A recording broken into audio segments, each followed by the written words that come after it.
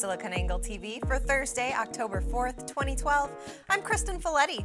Twitter made history last night in the presidential debate, posting over 10 million tweets about the event, making it the most tweeted about political event. And Metro PCS becomes a thing of the past with the merger of Metro PCS and T-Mobile. Here with his breaking analysis on today's headlines, we're now joined by SiliconANGLE founder John Furrier. Good morning, John. How you doing? So let's start with the debate last night 10 million tweets. How does this new dimension of participation affect Twitter users and other forms of social media? I think, uh, first of all, the presidential debate, I thought it was a great debate. I thought Romney really did a great job of uh, uh, winning the debate over Obama. Obama kind of looked like a deer in the headlights. Um, but the, the commentary of the debate kind of highlighted a couple differences between the two candidates. One is one is more economically savvy than the other. Mean, Mitt Romney clearly has a more fiscal knowledge of economics over Obama. Obama's just hand waving.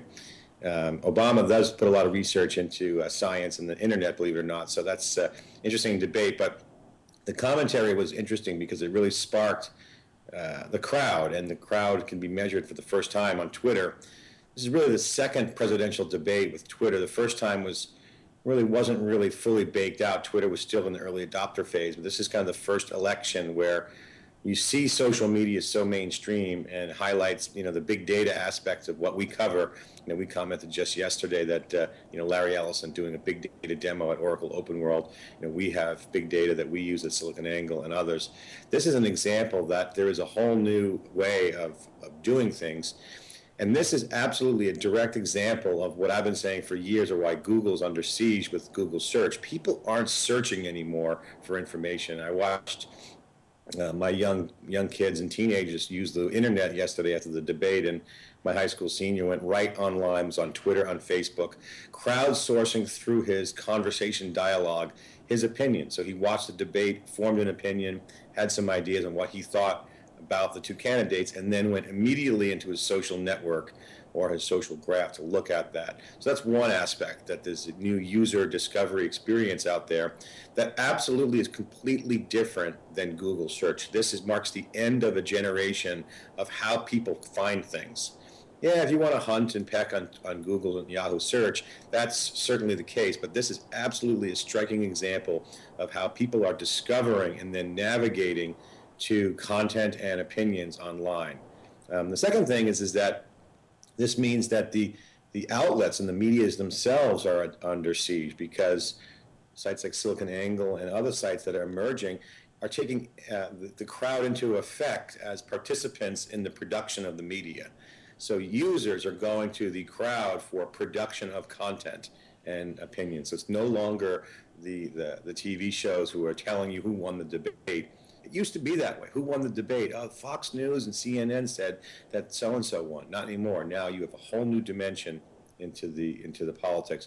This is exactly what we had predicted. That's exactly what we've been talking about and what I've been talking about for many, many years. It's actually happening. The crowd is a factor in changing public opinion and also providing a new user experience. So can you tell us about what types of online venues were used for the debate and also the engagement through these venues, what it was like for users? Yeah, I think what it used to be like, it used to be classic word of mouth. You watch it on TV. The old way was you watch it on TV or, or listen to it on radio and you use those visual cues. And, and then you talk about it and you talk about it with people that you could have access to on a physical presence basis in your physical social network or your proximity. And uh, you know, and then when TV came along, the big debate was Nixon versus John F. Kennedy in the '60s, and that was like, wow, TV's a medium. It really affected people because if you were watching the visual debate, you obviously saw differences than how you would listen to it on the radio. That is exactly what's happening now with the social networks.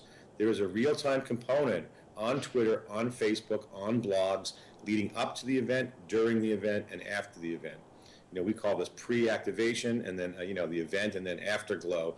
All three aspects of that event has a social component.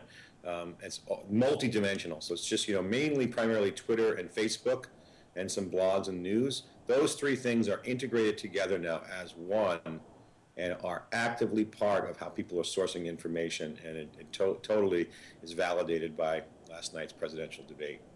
Last night, Microsoft also demonstrated some innovative technology using their Xbox Live service for polling viewers. Do you see that as a new trend in using gaming consoles for participation in events? Yeah, I mean, you, you, you asked the venues in the last question. I absolutely would, would classify Xbox as a vehicle. Anything where, where the users are connected is now a beacon into a global network of signal. So, you know, one of the things we always say is extracting the signal from the noise, and the Xbox is just another great example. I mean, my son probably went on Xbox last night with like he normally does and plays after he did his homework. And then there, within that social graph, uh, that venue, he would communicate his opinions and hopefully source some really good information from the from the blogosphere and the Twitter sphere. And that's only going to get more powerful, and that's especially highlighted with mobile communications. Anything with an internet connection to a device where you have access to people you will have an opportunity to provide some signal. Now, conversely, there's noise. So, you know, this is where the new Google will come out. I've always said the next Google, the next company is going to come out of the woodwork and they're going to provide an algorithm to make sense of the noise and make a great user experience. And that's not going to be Google, it's going to be a new company. Yesterday, T-Mobile USA and Metro PCS announced that they will be combining. So why is this good news uh, for T-Mobile and Metro PCS? Uh, it's well, it's it's interesting news, right? On one end, you have a small number of players, uh, an oligopoly, if you will, or in some of these markets. But it's also, you know, interesting there. You can discuss the economics and the political aspects of that. But at the end of the day, this comes down to pure economic competitive advantage. The, the world wants faster, better mobile broadband, and our country is ranked very low relative to the rest of the world.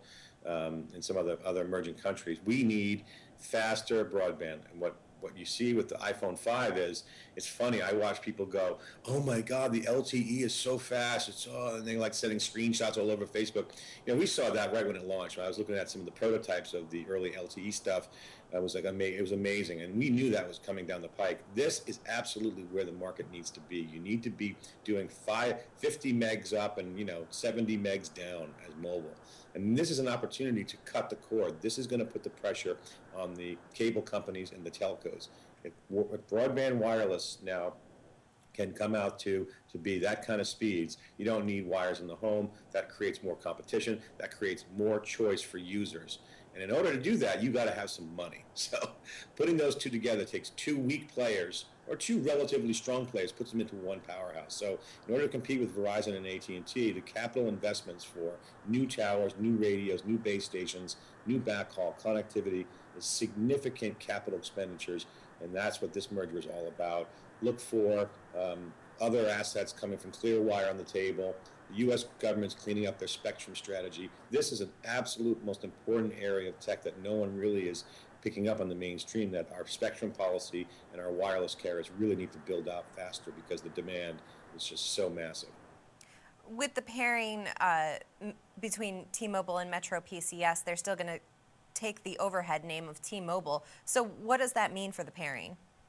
Uh, it's just a name. I think the branding's fine. At the end of the day, I think people will go where the money is, and that, and you know you're going to see better plans. You're going to see more competition. You're going to see speeds, and you're going to see people go with whatever brand loyalty gives them the best connectivity. I think if people can have the ability to get out of these two-year lockup contracts and switch around between carriers, there is absolutely no brand loyalty, and the only brand loyalty people have is to the signal and the and the, ability to be connected, as we were just highlighting in the Twitter outlet conversation around you know access to the signal uh, and providing input into these elections and commentary on the social network. So I really don't think the brand name's a big deal or the name. I think whatever it means to combine the assets and get more towers and more signal, more coverage, and more speed. At the end of the day, that's going to tip the scales in terms of branding. Whoever does that will win.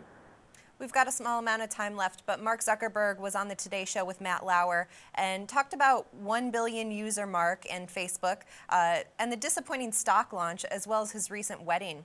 Uh, what are your thoughts?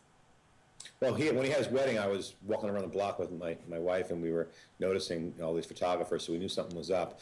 Um, and uh, I really don't care about his personal life. The guy's kind of a, a, geek. He wants privacy. But at the end of the day, Facebook right now on the milestone is huge and milestone 1 billion people.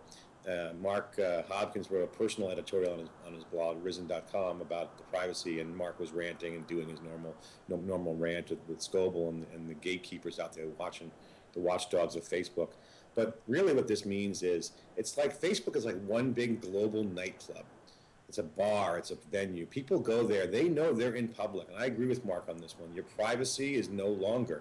You have to opt in. Now, you have a choice. You don't go to the party or you go to the party. And once you go in, you're making a contract implicitly to opt in for all your privacy. So that's a choice users make. Now, my prediction is, is that Facebook is on the danger of becoming AOL because what people are going to realize is, like they did with AOL and these walled gardens, is, you know, that's there's pros and cons to that. There's trade-offs, and they're going to either stay or go. And Facebook is turning into what the World Wide Web would have been if it wasn't a free resource by Tim Berners-Lee.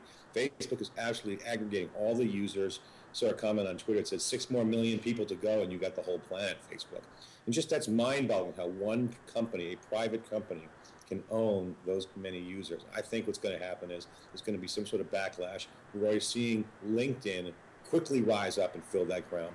People are going to get tired of the party and go to a new party. So I think you're going to see switching of, uh, between venues, if you will, between social networks happen, and I think it's just the beginning of that trend. Well, thanks for your time today, John, and we'll talk to you soon. Okay, thanks. For information on news of the day and the latest breaking analysis, stay tuned to News Desk right here on SiliconANGLE TV.